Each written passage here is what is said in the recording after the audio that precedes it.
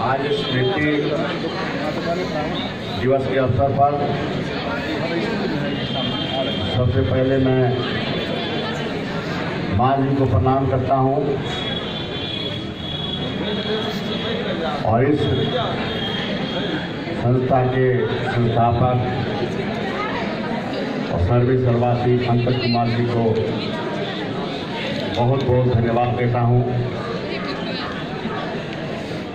कि उन्होंने एक ऐसा कारनामा किया है कि जिस कारण से इस इलाके का मान बढ़ा है इस अवसर पर इसी स्मृति दिवस के अवसर पर पधारे हुए शहर के सभी गणमान्य नेतागण, साथी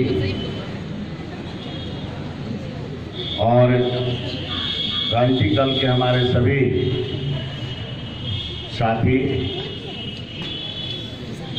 इस स्कूल के सभी शिक्षकगण छात्र, छात्राएँ, और उपस्थित भाइयों, आज का दिन एक ऐसा दिन है जिसको हम सालों भर याद करते हैं। क्योंकि माँ शब्द एक ऐसा शब्द है जिसका प्रयोग हम लोग हर रोज करते हैं घर और इस संस्था का स्थापना होने के बाद से इस शब्द का और भी महत्व बढ़ गया है। माँ जी की प्रेरणा और पंकज जी की मेहनत ने एक ऐसा काम किया है और ऐसा अवसर दिया है कि हम लोग सब आज के दिन इकट्ठा होते हैं और माँ को याद करते हैं। इस स्कूल को हम लोगों ने शैशवावस्था से देखा है।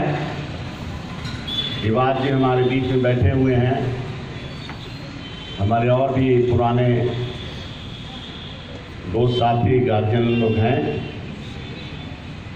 जिस समय में इस इलाके से लोगों को कोई संपर्क नहीं था, और लगता था कि यह शहर से एक अलग क्षेत्र है इधर आने जाने का कोई सुविधा नहीं, रेलवे का ये क्रॉसिंग गुमटी शहर से इस इलाके को अलग करके रखा था। लेकिन आज रास्ते का जो सुविधा होना चाहिए वह नहीं है, लेकिन फिर भी इस इलाके का नाम साधना देवी के कारण पूरे जिला में ही नहीं, बिहार में ही नहीं, पूरे देश में इसका नाम लोग जानने लगे हैं। हम इस अवसर पर यहाँ के शिक्षकगण को बहुत बहुत धन्यवाद देना चाहते हैं।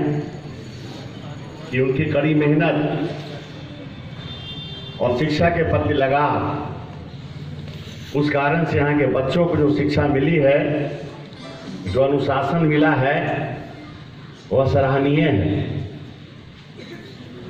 हम इस अवसर पर माँ को याद करते हुए यहाँ के बच्चे को, यहाँ की छात्राओं को यह कहना चाहते हैं अभी हमारे पूर्व के साथी ने भी कहा है, शिक्षा ग्रहण करना एक अलग बात है, लेकिन जीवन में अपने को एक अच्छे इंसान के रूप में ढालना एक अलग बात है।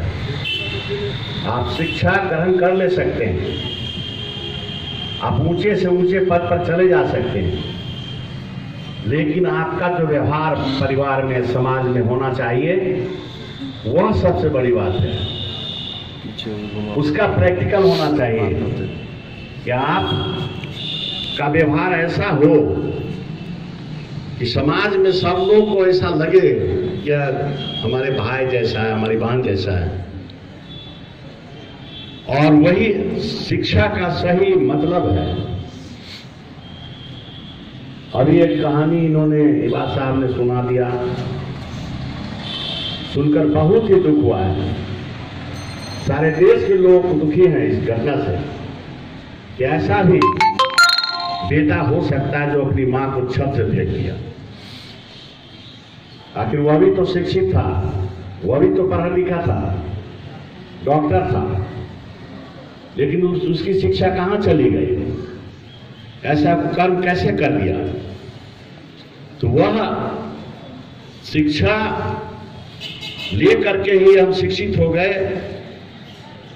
ऐसा नहीं होता है। आपको शिक्षा को समझना पड़ेगा कि शिक्षा लोग क्यों लेते हैं।